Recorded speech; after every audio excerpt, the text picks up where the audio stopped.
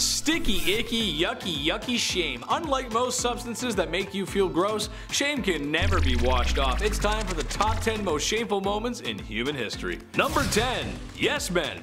I talk about World War II a lot on this channel, but it's hard not to. It's the biggest, baddest war ever. So it would have been nice to avoid the whole thing, really.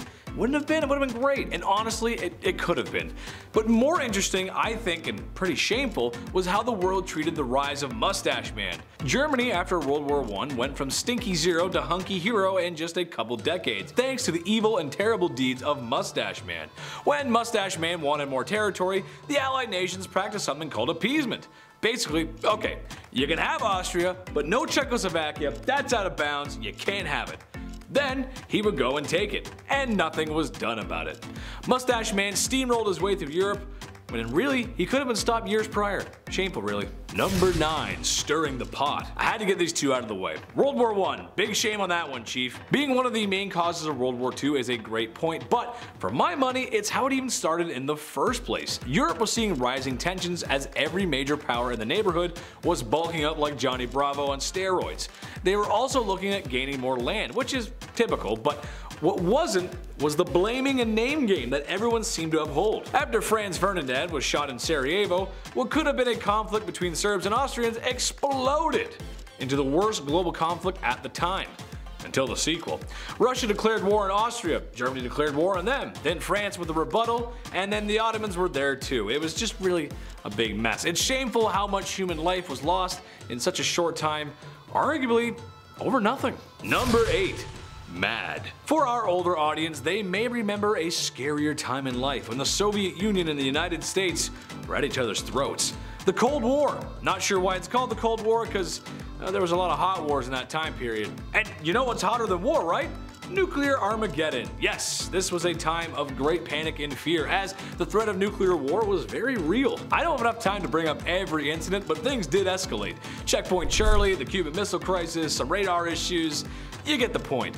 I went over to see the chief last night, and you know what? He said it wasn't it. Mutually Assured Destruction was the acronym made to comfort most people in the idea that if one nuclear weapon is detonated, then all of them will, in response, destroy one another. Which I think is very shameful. Nukes are just the worst. Let's put them away. Put them away. We don't need them, guys. Come on. Number 7. When in doubt, throw it out. In 2022, I don't have to tell you about climate change or the effects on the environment. If I do, then perhaps a few episodes of Bill Nye the Science Guy will help you along the way. It's a good show. But what's very shameful is how we treated this big blue and green spinning ball we all live on. And oh yes, I said ball, Earth is not round, sorry not sorry flat earthers. Since the Industrial Revolution, it's been nothing but high pollution and dumping garbage in the ocean. Which, hey, I get it. Out of sight, out of mind. I do the same thing when ice falls from the dispenser from the fridge. What do you expect me to do? Pick it up, mom? How about sweep it underneath the fridge with the already dirty pair of socks, mom? Nice try though. But seriously, the way we treat our own planet is shameful. It's our home, how we came to be. And we just haven't been treating Mother Earth that well really. Plus, I've seen WALL-E. I don't want to end up like that. So you make sure you recycle, eat your vegetables, maybe only take the self-driving car out twice a week, I don't know. Number 6. YouTube's favorite S word. Come on, you know I had to talk about this. This is just very shameful.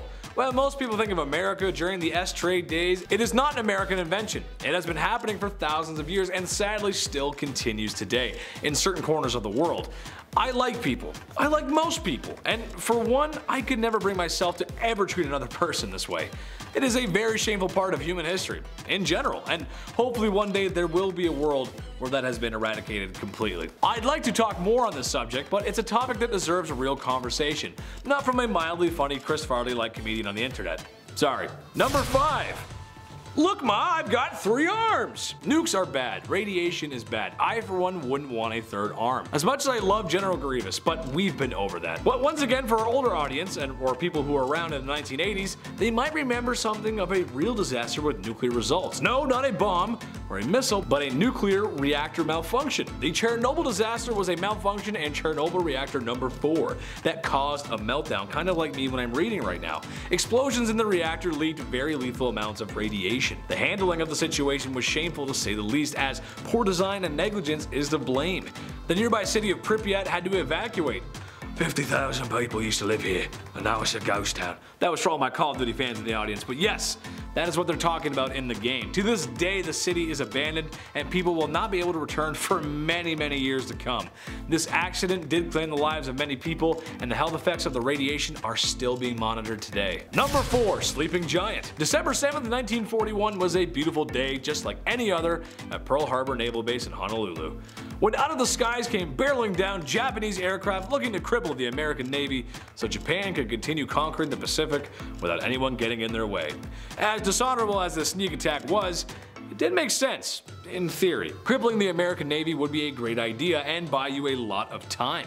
They destroyed battleships and 2,000 Americans lost their lives in this shameful surprise attack. It is too bad, however, that the objective was not fully completed, because America was going to get its revenge, and honestly, they kinda deserved a little revenge after that, let's be honest. American aircraft carriers were not present at Pearl Harbor, and while the damage was bad with the attack, it inspired everyone across the country. And with America's industrial strength, whatever was destroyed the Pacific Fleet was back up and running shortly after that. Way faster than the Japanese thought it was going to happen. Number 3. I'll never let go, Jack. I'll never let go. The Titanic. Everyone knows the Titanic, and everyone remembers the steamy scene from the movie in the back of what looks like the first car ever made. Nice. But what's shameful about Titanic is the hubris of its claim to fame. An unsinkable ship that well, was thought to be unsinkable. Well, now it's at a very deep point in the Atlantic Ocean, so that plan didn't exactly work out, did it? There were some safety measures put in place, but who needs them when your ship will never founder? There's many theories on how and why the Titanic sank, from the lack of lifeboats, the captain, and even its construction and design. But definitely, it was a hard sell on the unsinkable. You'd be surprised how vulnerable you are when you assume that you're invulnerable. Very true. Number 2. Lethal production. The American Civil War was the crucible that shaped America. A few years of brutal fighting brother versus brother had left its mark on the country.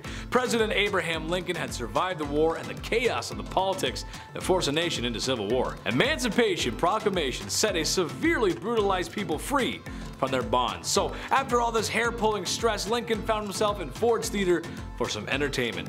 What Lincoln actually got was a bullet in the head by John Wilkes Booth, failed actor and shameful killer. Say what you will about Lincoln's top hat and beard, Lincoln held the country together the best he could. I don't know if anyone today had the leadership to match his. He wasn't around longer. Who knows what else he could have accomplished. Number 1. The Vietnam War. Probably the most humbling moment in American history. The Vietnam War was America's response to contain the evil spread of the evil communism and just get rid of those pesky communists. What was thought to be an easily winnable war turned into a tragic loss of life for both sides and a snipe storm from the media in America, criticizing the American involvement in the first place. Eventually America would have to pull out of Vietnam and leave a bad taste in everyone's mouth. While I'm not sure the war for Vietnamese independence can be prevented, the American involvement could have been, and thus is a mistake that many to this day cannot forget. That's gonna wrap it up today, guys. Make sure you like, comment, subscribe here at Bumblebee. And if you too don't feel any shame, check out my socials down in the description. Stay sweet, my little honeybees.